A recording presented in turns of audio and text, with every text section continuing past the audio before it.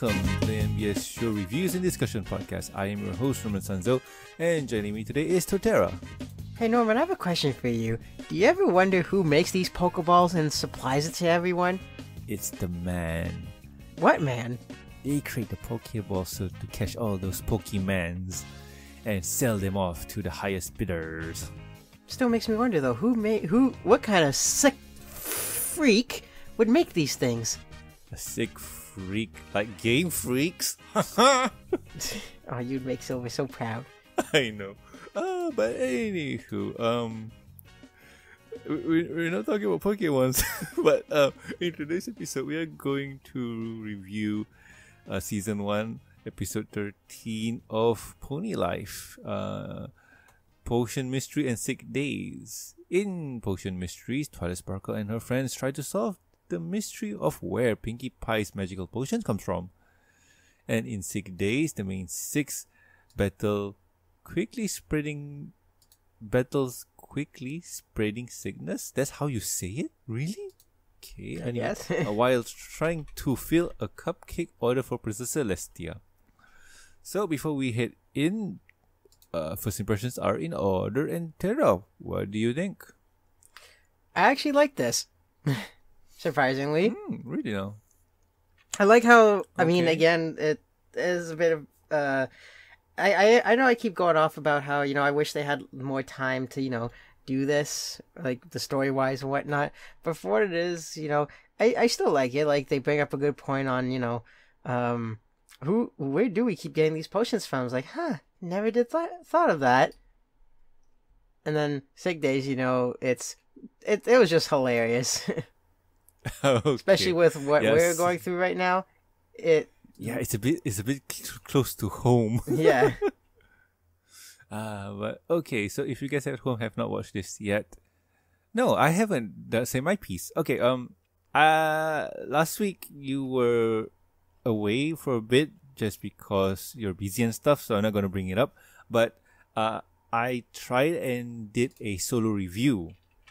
I'm not hundred percent sure if I aced it or not, but I did got a I won't say complaint, but feedback from one of the Patreons. They mentioned that they know that I dislike pony life, so it's not gonna be much of a surprise or how do I put this? Um, it's not gonna be much of a surprise or um a tell that I'm gonna enjoy it or not. It was, it's one of those things. So I'm not saying that I am disappointed or I hate this episode. I how put this? I kind of enjoyed this episode. Honestly, it was pretty entertaining. Uh, with Potion Mystery, it's one of those cases where, uh, yes, the Mane Six, or not really, not even the Mane Six, like the ponies just want to know, find out who is just supplying these potions to them and the answer might surprise everyone, including me. And in sick days, oh boy, that's just too that's just too close to home. So anyway, if you guys have not watched this episode yet, pause here. Welcome back. Hope you enjoyed the episode. So let's start off with uh, our heroes in Sugarcube Corner, just messing around with the potions. Um, Rainbow Dash drinks a potion to go fast, really, really fast. Very much go Sonic speed, pun intended. Yeah, yeah, yeah. Uh, and Fluttershy drinks a potion that makes her neck really, really long. Ooh. Uh, and then, well, the, the ponies just hang out and play with potions. Like, Pinkie Pie is a balloon, Twilight Sparkle is a disco ball. And Twilight just asked Pinkie, uh, where do you, wh- when's the next shipment of the potions coming in? And Pie is just confused and just says, wait, I thought you were the pony that ordered the potions. So they start to wonder, like, who made this potions? Because we got no idea where they came from. We got no idea who put them in the fridge. And they decide to, you know what, let's try and find out who makes them. And in between, we get Spike doing a CSI Miami meme. Yay. And we move on to the next scene. And we see that the ponies here wants to solve the case of who stuffed these potions in the fridge. So they decide to camp out for a bit and well, the potions are there the next morning. So they decide not to sleep. well, they they sleep and potions are in there. And I'm just going to pause here. Tara, what do you think? I really liked where this was going. I at first like it's one of those things was like you had me and then you lost me and then you had me again and then you lost me because like right now they had me because like okay they're drinking all these potions you know interesting still don't know why they uh have a potion addiction what what do you call it it can't be alcoholic uh potion holic I guess but they drink all these potions, and then it's like, wait, where do we get all these potions? It's like, wait, I thought you ordered them. No, I thought you ordered them. It's like, it's a mystery, a potion mystery. Yeah, and even Twilight mentioned that she tried to replicate the potions and failed miserably. So uh, it means that the potions here are made from someone that's really, really good. And you know what? Before we carry on, uh, no, you know what? That's kind of a spoiler. So uh, anyway, I'm just gonna. Uh, you done, Tara? Yeah, I'm done. All right. Okay. So anyway, um, let's carry on because we're almost near the end. So Twilight's plans keeps failing and whatnot. Even they even set up a video camera and Winona to guard the entrance or to the fridge. So their last plan is to kind of stay up and not sleep and hang a bell around Twilight's horn. Well, not really a around her horn, but a tie rope system that has bells, and whenever she nods, the bell rings. So yeah, that's pretty elaborate, pretty elaborate. Then we see some kind of creature um, jumping around, walking around, uh, creating some sparkly lights and making things grow wherever she goes. She sprouts mushrooms and fauna and flora. Uh, she kind of develops her magic with her hooves. Is that what I'm seeing? Yeah, sounds about right. So yeah, uh, she stomps her hoof and puts a blanket around the main the, the ponies, and somehow winks and fills up the fridge, and episode ends. So it's not a so okay. Um, the, the say pony is an alicorn, by the way. Like what? Makes me. By the way, did she did this pony appear in uh, any previous episode? No, this is her first appearance, and I, if I'm not mistaken, her name is Potion Nova. I don't know. Because that's what I saw in the uh, what you call this um, uh, uh, the credits. Yes, that's what I saw in the credits. So she is a new character, an OC for the series. Uh, well, we, we had uh, the original characters before, but this one, yeah, this one is uh, kind of new, which is really interesting. Mm-hmm. Why is she an alicorn? I don't know, but it would be the first time that you know someone was an alicorn by mistake. Because I know back then in previous episodes there'd be a little I don't know if it was an ele- animation error or something, but there'll be times where Rarity's an alicorn because she has wings, or someone else has a a, a horn. All of a sudden, it's like what? Ah, yes, that's that's true. That's true. And you know what? Uh, looking at the list on EQD, not EQD, the wiki page, uh, they list her down as a mysterious unicorn, and they show her picture, and she has no wings. But in said episode, she has wings. So this could be one of those cases where it's an animation error, or she's hiding her true form. Hmm. We may never know. Uh, probably the future because it's because I see her hanging out in Sugarcube Corner, whatever.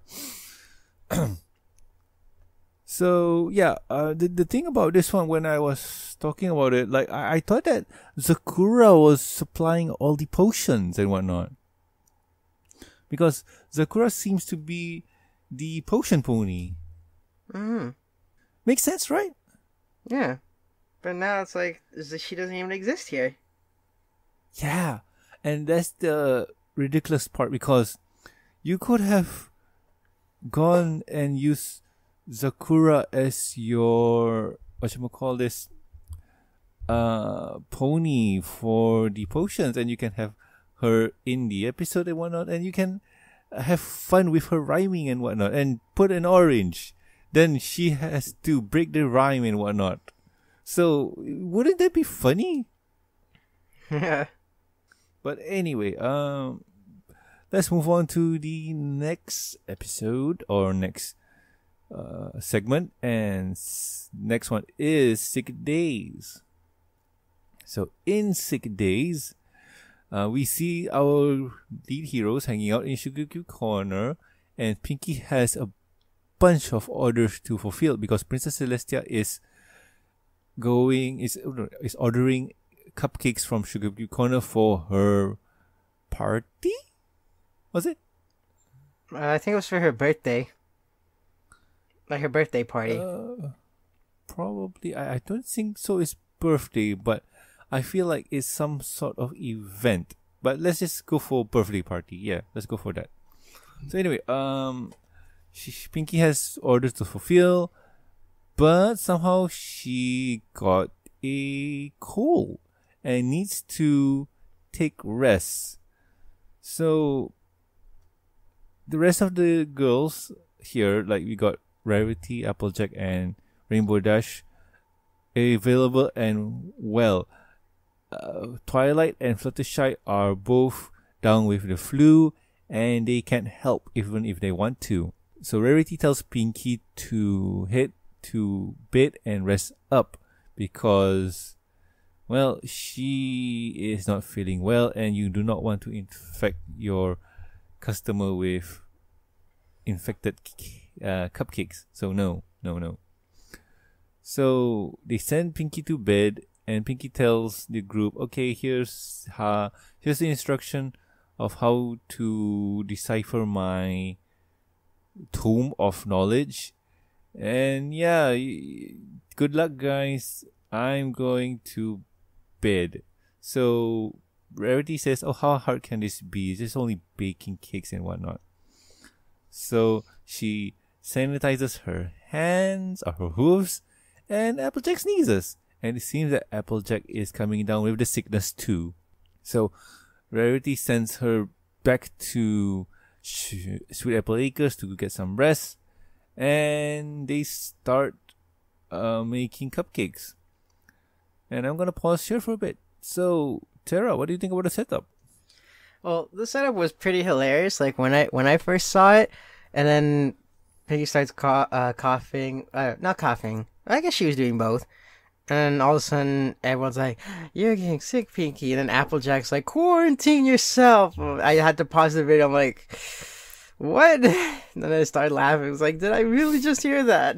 It's so Yeah.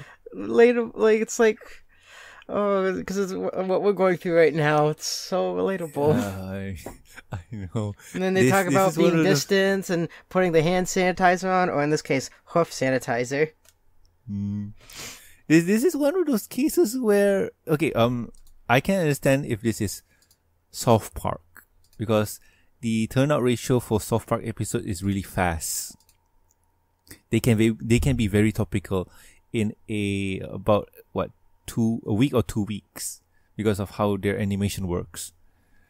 Pony Life, on the other hand, this was okay in Canada the episode was released in August 2nd of 2020.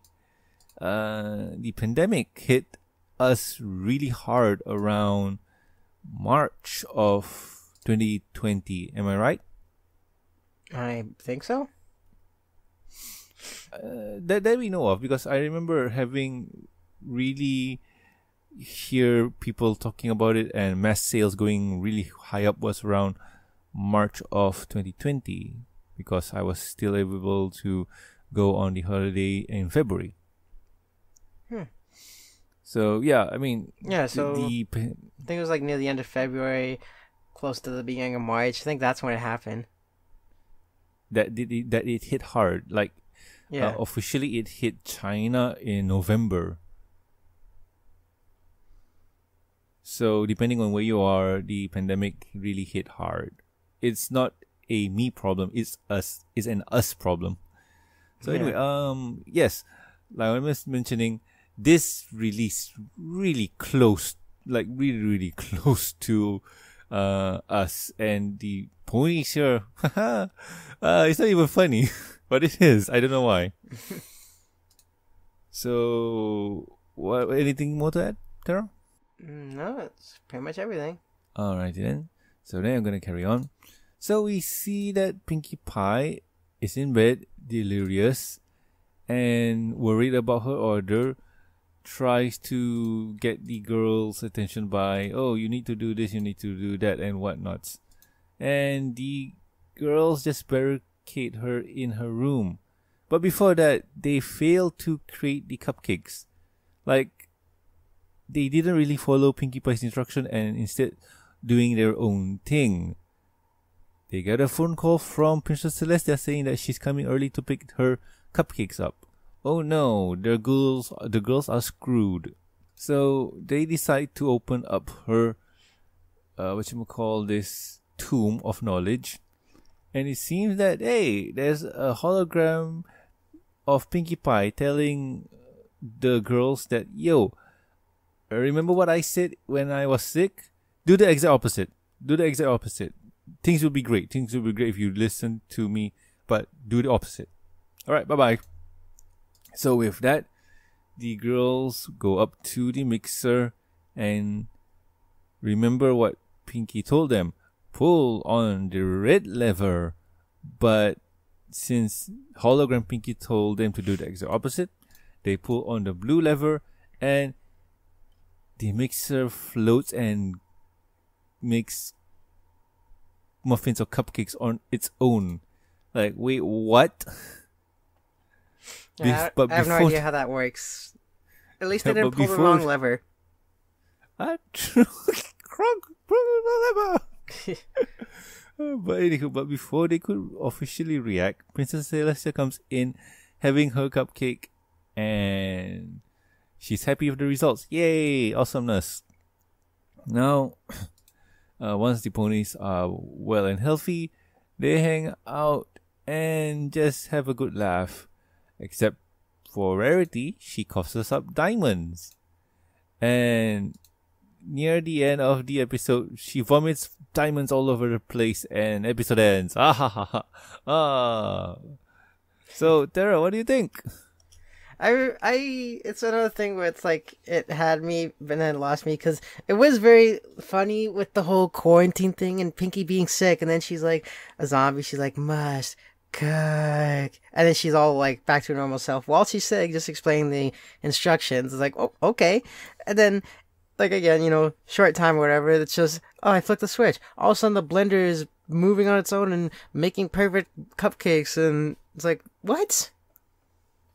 Y- you know what? This is one of those Deus Ex Machina where, okay, the, you're almost near the time limit. Ah, you know what? I don't even care anymore.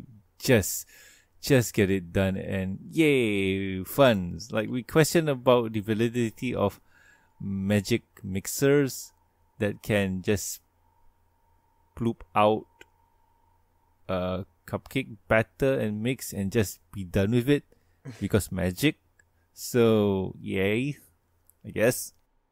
Yeah, it's like I don't know what else to say. Yeah, I mean, yeah. It was decent. Like this is one of those things. Yeah, we can just like watch it once. Oh, that's true. That's true. Um, but anyway, uh, you done, Tara? Yep, I'm done. All right. And as for me, uh, this o- overall, uh, this episode was not bad. I kind of like it. I, I do like the mystery of who is the pony that is stuffing the fridge with, um, what you call this potions. Uh, we don't get a name, but if you check the credits, we do see a pony named uh, Nova po- po- Potion Nova, something like that. But I think you said that. I, f- hmm? I think it was something like that. Yeah. And it's kind of a bad move on them to name the pony. They they should just have named her as Mysterious Pony until her reveal. Because that way we got no idea who she is and we are kind of invested in knowing who she is. Like we want to we will pay attention and try to look for her and whatnot or just wait. But uh, it's pony life and that's the that's the sad part where we don't get the build up. We we get the we, we just know who she is and whatnot. Yeah. And we got no idea if it's an animation error or not. But is she an alicorn? Is she not an alicorn? Uh, what is she and how does this world even work? So for Potion Madness was it? I think so. Was that previous did episode? I- No, no, no. This one, this one. Why Oh, did Potion close Mystery. The... Yeah, Potion Mystery. Um, yeah, we, we don't really get the mystery of Potion Mystery because they decided to tell us who her name is. But I, I guess knowing what she does and how she do it is the mystery to itself, probably. Or it's like why she does it. Yeah.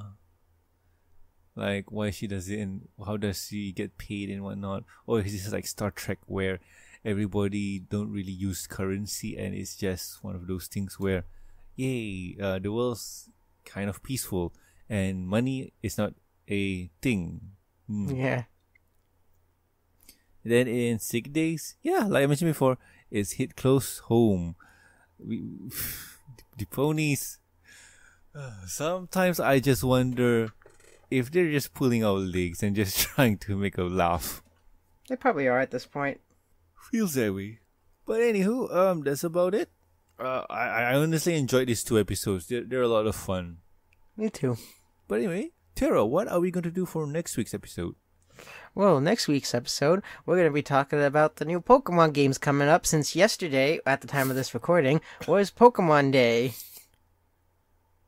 Yay! It's gonna be what a bit late. We're, about three weeks late from this episode's release, but the game's not gonna be coming out until the end of the year and also early 2022.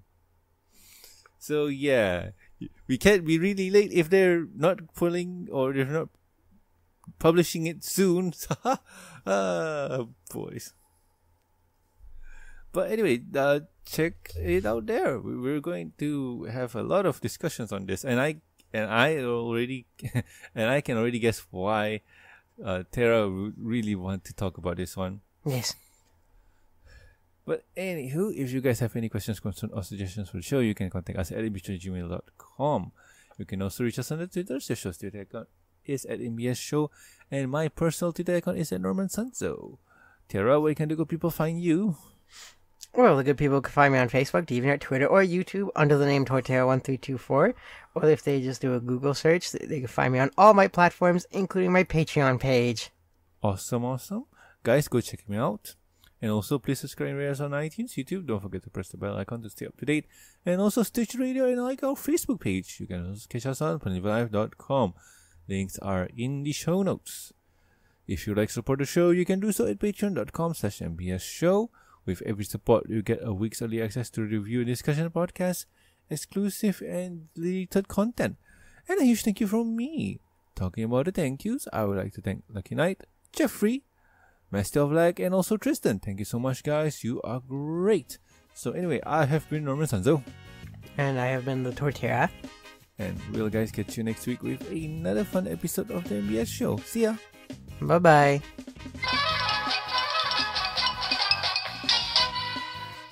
So, if I were to drink a potion in Sugarcube Corner, what do you think would happen? I don't know. They they don't even know what they're drinking when they drink the potions. It's just like, oh, let's just chug this down, see what we get.